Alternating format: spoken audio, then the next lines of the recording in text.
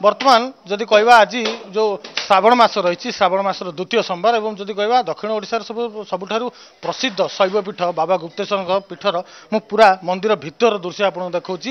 କାଉଡ଼ିଆମାନେ ଦେଖିପାରୁଥିବେ କୋଉଭଳି ଭାବରେ ଲମ୍ବା ଲାଇନ୍ରେ ଆସୁଛନ୍ତି। ଆମେ ଆ ପୂର୍ବରୁ ମନ୍ଦିର ବାହାରର ଆପଣଙ୍କୁ ଦୃଶ୍ୟ ଦେଖାଉଥିଲୁ କି କାଉଡ଼ିଆମାନେ କେତେ ଦୂର ପୁରା ପାଖାପାଖି ଦୁଇରୁ ତିନି କିଲୋମିଟର ବାଟ ଲମ୍ବା ଲାଇନ୍ରେ ଆସିଥିଲେ କାହିଁକି ଆଜି ହେଉଛି କାଉଡ଼ିଆମାନଙ୍କ ପାଇଁ ସବୁଠୁ ବଡ଼ ଦିନ ଯଦି କହିପାରିବା ସେମାନେ ଜଳାଭିଷେକ ଆଜି ମହାପ୍ରଭୁଙ୍କୁ କରିବେ ମହାପ୍ରଭୁ ଯଦି କହିବେ ଶିବଙ୍କୁ ସେମାନେ ଜଳା ଅଭିଷେକ କରିବେ ଏବଂ ସମସ୍ତଙ୍କ ମନରେ ଗୋଟେ ଆଶା ଅଭିଳାଷ ଥାଉଛି ଯଦି ମହାପ୍ରଭୁଙ୍କୁ ଆଜି ଜଳାଭିଷେକ କରାଯାଏ ତାହେଲେ ସେମାନଙ୍କ ମନ ଭିତରେ ଯେଉଁ ମାନସିକ ଥାଉଛି ସେ ମାନସିକ ସେମାନଙ୍କ ପୂର୍ଣ୍ଣ ହୋଇଥାଏ ତ ଆକୁ ନେଇକି ଯଦି କହିବା କେବଳ ଆମର କୋରାପୁଟ ଜିଲ୍ଲା କଥା ଯଦି ନୁହେଁ ପୁରା ସାରା ରାଜ୍ୟରୁ ସବୁ କୋଣ ଅନୁକୋଣ ସବୁ ଜିଲ୍ଲାରୁ ଭକ୍ତମାନେ ଆସିଛନ୍ତି କିଏ ଦୁଇଶହ କିଲୋମିଟର ଚାଲି ଚାଲି ଆସିଛନ୍ତି ତ କିଏ କୋରାପୁଟରୁ ପାଣି ଧରିକି ତିରିଶରୁ ପଇଁତିରିଶ କିଲୋମିଟର ଚାଲି ଚାଲି ଆସିଛନ୍ତି ଇଏ ପୁରା ମନ୍ଦିର ଭିତରେ ଆମେ ଆପଣଙ୍କୁ ଦୃଶ୍ୟ ଦେଖାଉଛୁ ବାବାଙ୍କର ପୁରା ଶିବଲିଙ୍ଗର ଇଏ ଦୃଶ୍ୟ ଆପଣ ଦେଖିପାରୁଥିବେ ସିଧାସଳଖ। ତା ସହିତ ବାବାଙ୍କର ରୀତିନୀତି ଶ୍ରାବଣ ମାସ ସୋମବାରରେ କ'ଣ ରହିଥିଲା ଆମେ ତାକୁ ନେଇକି ବାବାଙ୍କର ପୂଜକ ଅଛନ୍ତି ତାଙ୍କଠୁ ରିଆକ୍ସନ୍ ନେଇଯିବା। ବାବାଙ୍କର ରୀତିନୀତି ସବୁ କେମିତି ରହିଥିଲା ସକାଳୁ କେତେବେଳେ କ'ଣ ସବୁ ଆରମ୍ଭ ହେଲା?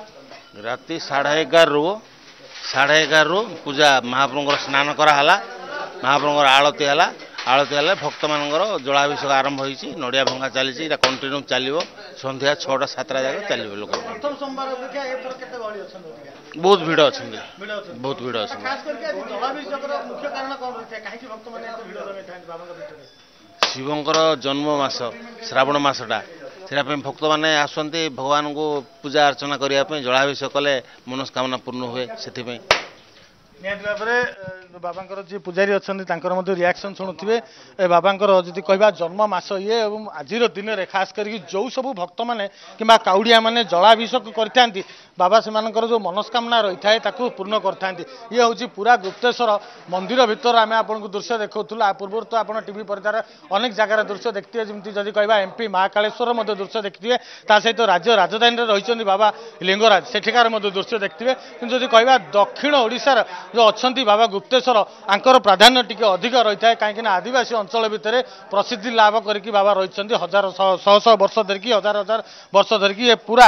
ଆମେ ଆପଣଙ୍କୁ ମନ୍ଦିର ଭିତର ଦୃଶ୍ୟ ଦେଖାଉଥିଲୁ କିଛି କାଉଡ଼ିଆଙ୍କ ରିଆକ୍ସନ୍ ନେବା। ନେଲେ କୋଉଠି ଆସିଥିଲେ ବାଟିକା ଆଚ୍ଛା କେତେ ବାଟ ଚାଲିଲେ? କେତେ କେତେ ବାଟ ଚାଲିଲେ? ଚାଲି ଚାଲି ଆସିଲେ? କ'ଣ ମାନସିକ କ'ଣ ଥିଲା? ଅଭ- ଅଭିଳାଷ କ'ଣ ଥିଲା? ମାନସିକ ଥିଲା? ଥିଲା? ଆଁ? ଠିକ ଅଛି ଆଉ କିଛି ଏ, ଭକ୍ତଙ୍କର ବି ରିଆକ୍ସନ୍ ନେବାକୁ ଚାହିଁବା। ଅ, ମା କୋଉଠୁ ଆସିଥିଲେ ଆପଣ?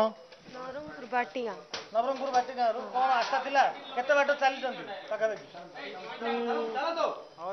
କେତେ କେତେ- କେତେ କିଲୋମିଟର। ଚାଲିଲେ?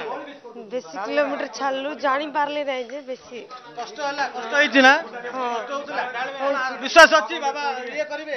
ମାନସିକ ପୂରଣ କରିବେ ବିଶ୍ୱାସ ଅଛି। ଅଛି। ନିହାତି ଭାବରେ ରିଆକ୍ସନ୍ ଶୁଣିପାରୁଥିବେ ସମସ୍ତଙ୍କ ମନରେ ଗୋଟେ ଦୃଢ଼ ବିଶ୍ୱାସ ରହିଛି କି ବାବାଙ୍କୁ ଦର୍ଶନ କଲେ ବାବାଙ୍କର ଜଳାଭିଷେକ କଲେ ବାବା ସେମାନଙ୍କର ମାନସିକ ପୂର୍ଣ୍ଣ କରିଥାନ୍ତି। ଏ ପୁରା ଆମେ ଆପଣଙ୍କୁ ଦୃଶ୍ୟ ଦେଖାଉଥିଲୁ। ପ୍ରଥମ ସୋମବାର ପରେ ଆଜି ଯଦି କହିବା ଦ୍ୱିତୀୟ ସୋମବାରରେ ମଧ୍ୟ ଭକ୍ତଙ୍କର ଅଧିକା ଭିଡ଼ ଦେଖିବାକୁ ମିଳିଛି ଯଦି କହିବା ବିଗତ ବର୍ଷ ଅ, ଯଦି କହିବା କଟକଣା ଭିତରେ କଟିଥିଲା ଭକ୍ତମାନେ ଏତେ ଦର୍ଶନ କରିପାରୁନଥିଲେ କେଉଁଠି ନା କେଉଁଠି ଯଦି କହିବା କାଉଡ଼ିଆଙ୍କ ମନରେ ଗୋଟେ ବଡ଼ ଦୁଃଖ ଦେଖିବାକୁ ମିଳିଥିଲା କି ବାବାଙ୍କୁ ସେମାନେ ସିଧାସଳଖ ଦର୍ଶନ କରିପାରିନଥିଲେ କିନ୍ତୁ ଯଦି କହିବା କଟକଣା ଧୀରେ ଧୀରେ କୋହଳ ହେବାକୁ ଲାଗିଛି ପ୍ରଶାସନ ମଧ୍ୟ ସଜାଗ ଅଛି ତ ତାକୁ ନେଇକି ଯାହା ଆବଶ୍ୟକ ରହିଥିଲା ଆନୁଷଙ୍ଗିକ ବ୍ୟବସ୍ଥା ତାକୁ ମଧ୍ୟ କରାଯାଇଛି ପ୍ରଶାସନ ତରଫରୁ ଏବଂ ପୁରା ବାବାଙ୍କର ଭକ୍ତ ଯଦି କହିବା ଏ, ପୀଠରେ ଭକ୍ତଙ୍କର ପୁରା ଭିଡ଼ ଦେଖିବାକୁ ମିଳିଛି ଆଉ ନିହାତି ଭାବରେ ଆମେ ଆଶା କରିବା କି ଯେମିତି ଦ୍ୱିତୀୟ ସୋମବାରରେ ବର୍ତ୍ତମାନ ଯେଉଁ ଭିଡ଼ ଦେଖିବାକୁ ମିଳିଲା ସେମିତି ଲଗାତାର ମଧ୍ୟ ବାବାଙ୍କର ଆଉ ଯେଉଁ ଦୁଇ ପାଳି ସୋମବାର ରହିଛି ସେଠି ମଧ୍ୟ ଭକ୍ତଙ୍କ ଭିଡ଼ ଦେଖିବାକୁ ମିଳିବ ଆଉ ଏମିତି ବାବାଙ୍କ ଆଶୀର୍ବାଦ ସବୁ ଭକ୍ତଙ୍କ ଉପରେ ରହିପାରିବ। ଜୟପୁର କ୍ୟାମେରା ପର୍ସନ ସନ୍ତୋଷଙ୍କ ସହିତ ମନୋଜ ଦାସ ନ୍ୟୁଜ୍।